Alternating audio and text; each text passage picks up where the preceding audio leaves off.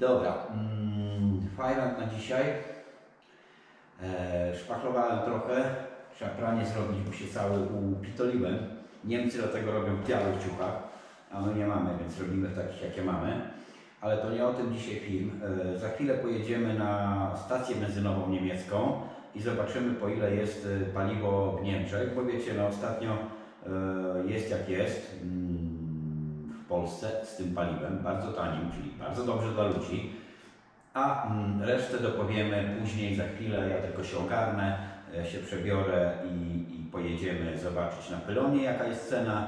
No i sobie tam trochę na ten temat porozmawiamy. No to co? Wsiadamy do samochodu i ruszamy, nie? Na tą przejażdżkę, żeby zobaczyć te ceny. No i jedziemy. Niestety nie do domu jeszcze, ale na taką krótką przejażdżkę jest bardzo ładna pogoda, więc trzeba zobaczyć właśnie między innymi te ceny. Ja nie wiem, mam nadzieję, że jeszcze będzie stacja benzynowa czynna, ale jak nie, no to ja mam i tak zdjęcie zrobione w dniu dzisiejszym pylonów, więc będziecie wiedzieli jaka jest cena. Dzisiaj jest weekend tutaj, więc e, wiadomo, że w Niemczech jest troszkę w weekend zawsze cena wyższa, o kilka tam e, centów, nie? Z 5 tak centów, 2, 3, 7, ale najczęściej tak 2, 3 do 5 centów jest cena wyższa, więc będzie troszeczkę jak gdyby najprawdopodobniej oszukana, czyli w tygodniu byłaby troszeczkę tańsza. No ale zaraz zobaczymy. Tu mamy pylony i mamy cenę. E, jeśli nie będzie widać tego na tym, bo w tej chwili jest e, 1,91 diesel, e, benzyna 2,03, 2,04 w sumie, nie, bo to tam dziewiątka tak trochę myli. E, ja w dzień robiłem zdjęcie, to zdaje się, że od centa było taniej, czyli teraz troszeczkę jeszcze zdrożała od centa. Ale to e, mniejsza z tym. E, to trzeba by przeliczyć teraz na złotówki. E, euro 90, no na pewno będzie powyżej 8 zł. To będzie prawie 9 zł. Diesel tutaj kosztuje. E, W innych regionach Niemiec może być troszkę taniej, trochę drożej, ale to tak trzeba liczyć. Poniżej e, euro 80 to raczej tu już nie znajdzie. Czyli liczmy, że średnio jest to euro 85, to tak będzie na pewno jakieś 8,50 na polskie, tak myślę. Nawet pewnie troszkę więcej jak 8,50, gdzieś tak w tych granicach. I teraz popatrzcie, co się dzieje w naszym kraju. No, każdy chyba wie, dlaczego tak się w ogóle dzieje, nie? Ja zaraz sobie gdzieś stanę, nie wiem, bo tam jest dalej potem droga zamknięta, więc tam daleko nie pojedziemy do Szlugzi, ale ale y, u nas w Polsce paliwo jest po 6 zł.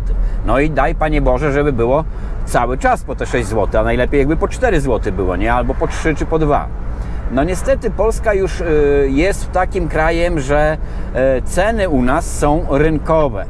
Przecież wiecie o tym, że w zasadzie ceny większości rzeczy w Niemczech czy na Zachodzie są takie same jak i w Polsce, nie? Więc co tutaj się stało, mm, że te paliwo u nas jest takie tanie? E, No stało się to, że mamy, no każdy chyba wie, wybory, tak? A jak wybory, no to trzeba coś tam ludziom rzucić. Mm, Dobra, ja sobie tutaj zjadę nad e, ten jeziorko małe i powiem Wam jeszcze dalej, jak ja to widzę i no, dlaczego tak się dzieje, to chyba każdy wie, tylko co się stanie, jeszcze Wam powiem, e, moim zdaniem, za kilka dni, kilkanaście lub za miesiąc, nie? Także idziemy na krótki pewnie spacerek tu nad tym jezioreczkiem w górach Schwarzwaldu. Dobra, wracamy do moich wywodów znowu. Sporo ludzi tutaj jest. Pływają sobie na tych takich deskach z wiosłem. Zapomniałem jak to się nazywa, mniejsza z tym.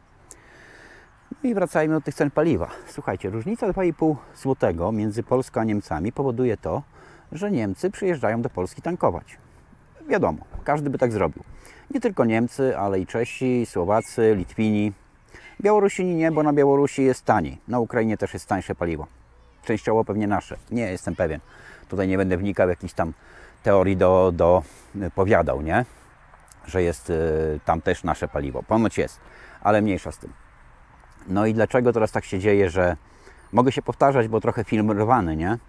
E, Więc dlaczego tak się dzieje, jak się dzieje? No każdy wie, że Obajtek w sumie nie rządzi w Orlenie. On jest prezesem, ale to jest e, mianowany człowiek rządu, bo to jest spółka Skarbu Państwa, e, w której Skarb Państwa rządzi, aczkolwiek ona nie jest całościowo państwowa, bo tylko w 50% jest Skarbu Państwa, ale to wystarczy do tego, żeby w takiej spółce rządzić. I teraz zobaczcie jedną rzecz.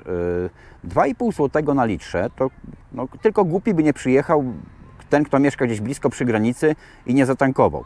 Bo w Czechach ponoć o 2 zł jest różnica, a tutaj 2,5 zł, tak? No to jest sporo, nawet momentami 3 zł. Więc y, 50 litrów, tankowując tylko do, do zbiornika, jakiegokolwiek w zasadzie małego nawet samochodu, te 50 litrów, no to jest 100, 120 zł, 150, zależy jak traficie e, cenę i czy ten olej, powiedzmy, czy ta benzyna będzie na, na stacji benzynowej dostępna, bo każdy już chyba wie o tym, że e, Orlen tam, e, jak nie ma benzyny, to kartki takie zostawia, że stawia, że awaria pompy, nie? Że niby paliwo jest, a jego nie ma. E, Ostatnio też zresztą, no i o co chodzi? No i na takim zbiorniku wiadomo, że się zaoszczędzi stówkę 150 zł. Dla takiego Niemca to jest, nie wiem co oni jeszcze kupują w Polsce, na pewno fajki, nie? Więc to jest karton papierosów ma za darmo. Więc co ma nie przyjechać, nie? Ostatnio tutaj też chyba od Zorlenu była taka gadka, żeby, żeby nie kupować na zapas tego paliwa, co jest jakby strzeleniem sobie w kolano, bo wiadomo, że jak tak mówią, a to nie wiem, czy to Orlen, czy to nie Sasin czasami powiedział, a jak Sasin mówi, to zapewniam Was, że będzie problem, że mm, ludzie będą kupować tego, to paliwo na zapas, jego już brakuje i będzie brakowało jeszcze więcej. E, ogólnie, no co, musimy się cieszyć, że jest paliwo tanie, no i, i tankować, tak? Ile się da i ile kto tam może. Na tym jakoś dużo nie zarobicie, stówkę, 200, ale zawsze to w kieszeni. Bo nie czarujmy się, e, u nas jest paliwo tanie tylko dlatego, że są wybory. Żeby każdy nie myślał, że jest jakoś inaczej, nie? Jest trzymane. E, Nie wiem, czy pamiętacie, co Bajtek mówił w grudniu ubiegłego roku, jak trzymał wysokie ceny, bo wtedy VAT-u nie płacił, a trzymał cenę tak jakby z VAT-em, nie? I co powiedział na koniec? Że on musiał e, tak robić, bo jakby dba o bezpieczeństwo energetyczne Polski, żeby nie zabrakło nam paliwa. No to powiedzcie teraz, co robi? Teraz robi zupełnie, totalnie na odwrót. Ja nie wiem, może oni myśleli, że na giełdach e, ropa nie będzie drożała, jakby nie drożała, no to by było ok, nie? Ale niestety w ciągu miesiąca zdrożała 20%. E, Przez to, że Glapiński podniu, opu, obniżył stopy, e, dolar się jakby umocnił, czy się osłabił, mniejsza z tym. W każdym bądź razie kosztował 4 zł z groszami, teraz 4 chyba niecałe 10, teraz kosztuje 4,40, prawie o 10%, tak? A w dolarach rozliczamy zakup ropy.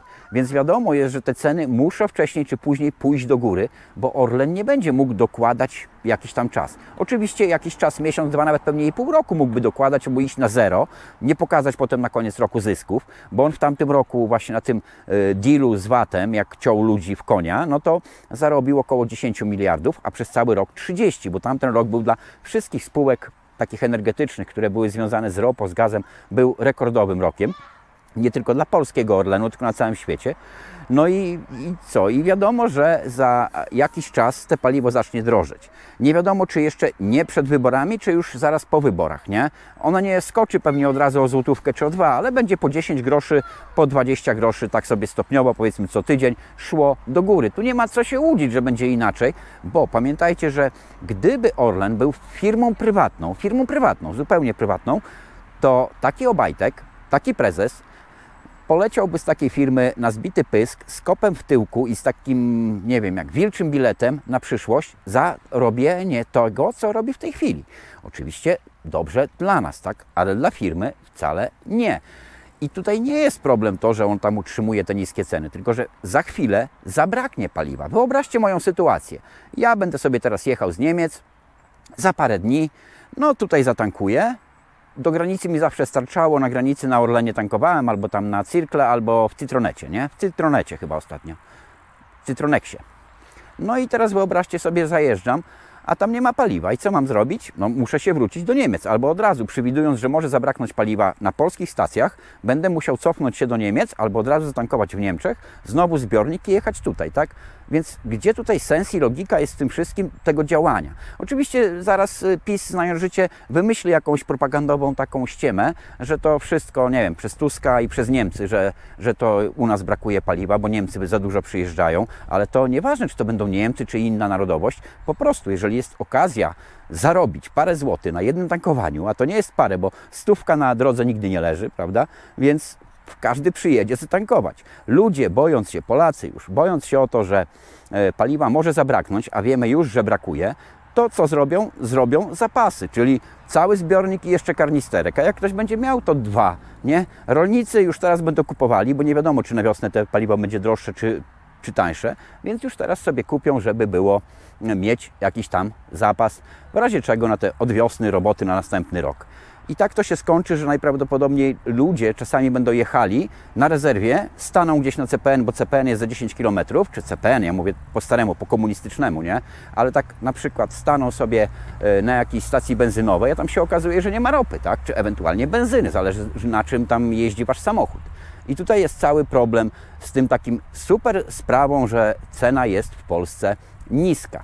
Jak ona długo się utrzyma? Myślę, że jeszcze z tydzień, dwa tygodnie maks do wyborów. Po wyborach na 100% pójdzie do góry, a może już nawet troszkę wcześniej, bo Orlen tam Obajtek sobie wymyśli coś takiego, że na przykład powie, że muszą podnieść ceny ze względu na to, że PO narobiło takiego dziadostwa, że ludzie się przestraszyli, że zabraknie paliwa, a tego paliwa by nie zabrakło, żeby na przykład nie ten niedobrzy Niemcy i ten niedobry Tusk razem z całą platformą, nie? Bo to jakąś propagandę do tego trzeba będzie wymyślić i, i tak to musi być, i tak to działało, i tak działa w naszym kraju od x lat między naszymi rządzącami, rządzącymi, którzy się trochę tam zmieniają. Raz na lewo, raz na prawo, nie?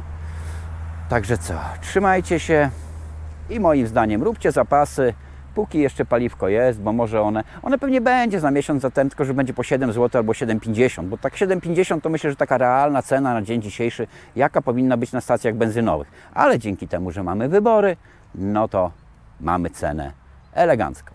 Jeden problem wystąpił, że może zabraknąć nam tego paliwa, czyli bezpieczeństwo energetyczne Polski już w tej chwili dla Obajtka nie jest tak mocno ważne. Zresztą on w ogóle nie jest od tego, żeby dbać o bezpieczeństwo e, energetyczne Polski, bo od tego jest rząd.